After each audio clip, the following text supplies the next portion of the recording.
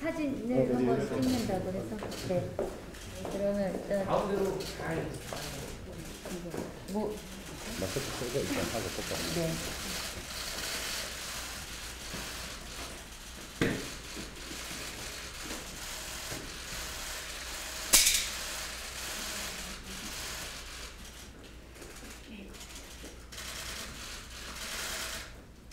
주인이 벗었다고 지금 네. 손님이 벗었다고 그러면 마스크를 잠깐 벗고 사진 찍고 다시 네. 이제 조금만 오른쪽으로 좀 짚어줘가지고 공개하지 않는 사진으로 찍어주세요.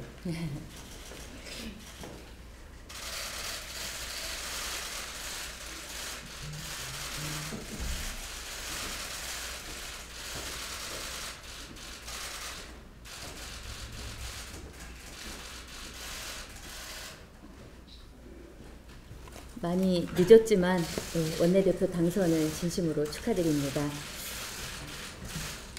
사실 원내대표로 당선되신 지는 시간이 좀 제법 지났습니다. 근데 정의당과 국민의힘 모두 어, 지금 좀 어려운 시간을 보내고 있었고 저희는 이제 좀 정리가 됐습니다. 어, 그래서 시간이 꽤 지난 만큼 오늘 어, 논의할 것도 좀 더 많을 거라고 생각이 됩니다. 어, 구태여 긴 말씀 드리지 않아도 우리 조영 원내대표님께서 너무 잘 아시겠지만 어, 이태원 참사 어, 실제 뭐 세월호 대구 지하철 삼풍백화점 마찬가지입니다. 충분히 예측하고 어, 막을 수 있었던 참사라는 정황들이 속속 드러나고 있어서 시민들이 진실을 궁금해하고 도대체 진실이 무엇이냐 이렇게 묻고 있습니다. 그래서 참사의 진상을 한치의 의혹도 없이 밝혀달라는 시민들의 목소리에 응답해야 되는 게 국회의 사명이자 의무라고 그리고 책임이라고 생각합니다. 어, 여야 간 어, 합의를 거쳐야 하겠지만 어, 정의당은 어, 성역 없는 국정조사를 추진하자는 입장입니다. 그래서 이번에야말로 국회가 가진 어, 책임과 권한으로 필요한 모든 증거와 정황, 어, 기관에 대해서 책임자를 조사해서 다시는 이런 비극이 어, 되풀이되지 않는 안전한 사회를 만들어야 되겠다는 입장입니다. 네, 그래서 재난안전 컨트롤 타워가 작동하지 않은 그런 총체적인 무능과 부실이 어, 하룻밤 잘 때마다 이렇게 확인이 되고 있습니다. 그래서 국회마저 뭐 무용한 논쟁으로 어, 허송세월을 한다면 사실 어떤 진실도 밝힐 수 없다 이런 입장이고요. 우리 조영 원내대표님께서도 진상 규명에 마땅히 동의하시고 또 논의할 수 있다는 입장이라는 것을 알고 있습니다. 그래서 오늘 이 자리가 이번 참사의 진상을 밝힌 밝힐 수 있는 국정조사와 또 재난 없는 안전 사회를 만들 수 있는 어, 물꼬를 트는 그런 협력의 자리가 되기를 기대합니다. 네, 오늘 예, 저 방문해 주셔서 어, 감사합니다. 예, 예, 대표님을 비롯한 우리 이 정의당 의원님들 저희들을 환대해 주셔서 감사드립니다.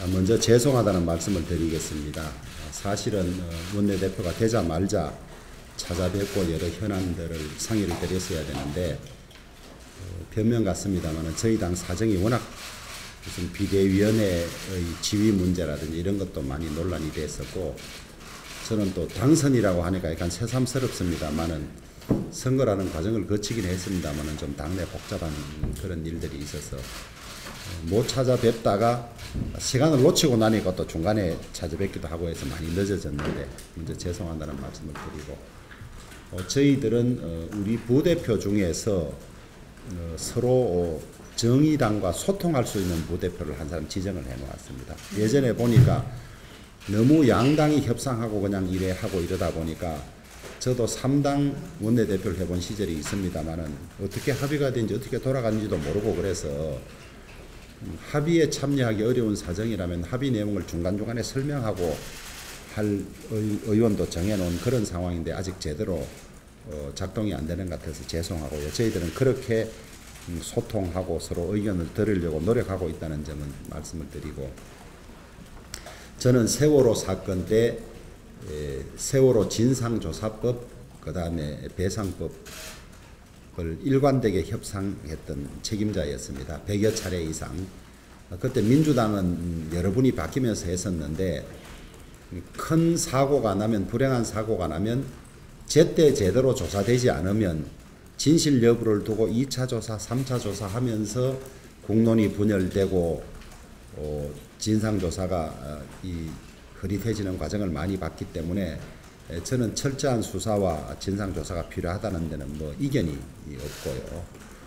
어, 다만 이제 예전 같으면 검찰이 수사팀을 만들어서 수사를 할 텐데 예, 검수완박법 때문에 그러지 못하고 어, 경찰이 수사하는 그런 상황에 있어서 어제 민주당도 어, 국정조사가 필요하다는 말씀을 하셨고 방금 대표님도 그 말씀을 하셨는데 저희들도 국정조사를 배제하거나 아, 이안 하겠다는 말씀은 아닙니다. 필요한 시기에는 하되 다만 우리가 쭉 지금까지 국정조사나 이런 것을 보면 강제적 수단이 없기 때문에 국정조사를 통해서 어, 수사보다 더 새로운 내용이나 이런 걸 밝히기가 쉽지 않은 그런 어떤 한계도 있고 지금 이 사건은 어, 주로 경찰들이나 책임 있을 사람들의 이 통신 내용이나 그 전후의 행적 이런 것들이 수사 성패의 핵심적인 어, 요인으로 작용을 하는데 에, 수사 초기 단계에는 어, 신속하고 적극적인 강제 수사가 필요한 단계여서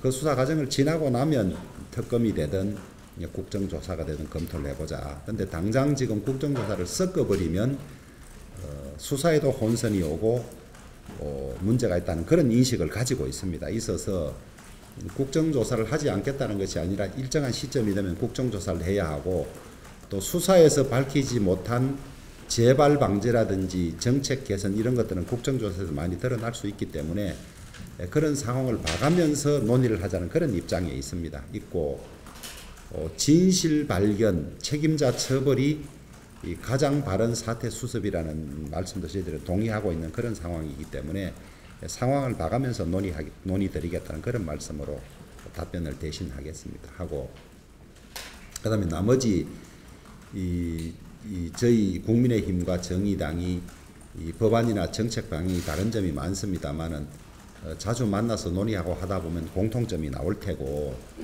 어, 또 전체 국민에게 도움이 되는 법안 또 이것은 어, 어렵고 힘든 사람을 북돋아줘야 될 법안 이런 것들에 대해서 많은 부분 생각 일치점을 찾을 수 있을 것이라고 생각하기 때문에 일정한 성과도 있을 것이라고 생각합니다. 필요하면 어, 양당 정책위 같은 것을 같이 가동해서라도 어, 대선 공약에 있어서 어뭐 비슷한 점이라든지 이런 것들도 같이 해서 어 상생이 협치로 성과를 낼 수 있는 그런 국회를 만들어 갔으면 좋겠습니다. 저도 필요하면 불러주시면 자주 찾아오고 그렇게 하겠습니다.